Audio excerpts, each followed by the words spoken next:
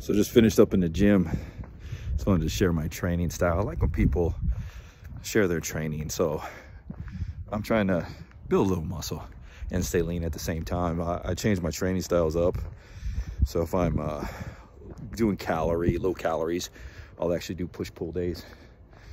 But the season now is to try to gain a little bit of muscle. So my training consists of uh, it's like 18 sets today of chest. And that was using three exercises, flat bench, incline bench, and cable flies. And then what I do is uh, I'll break it up by jumping on the elliptical for probably 10 minutes, just to keep the blood flowing, energy going, and keep, get the upper body to rest a little bit before I jump on the next uh, muscle, which was uh, delts today. And then I hit 12 sets of delts.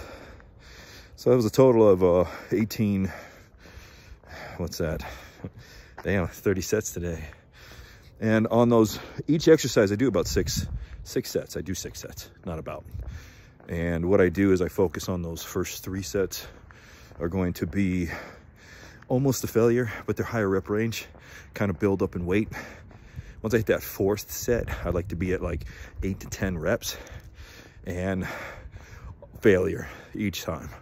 And what I do is I push out those extra reps under tension and uh, get that, keeping that tension. The way I look at it is uh, the more tension we can put on the muscle we're trying to build, this is just my viewpoint. And this is what's worked for me over the years, is the better growth you're gonna have. Of course, you wanna rest, you wanna recover, you wanna eat right. But, so that's my training style going on right now. Just want to share that with you guys. Short little video. Today's the day I gotta put up the tree dig for some Christmas lights.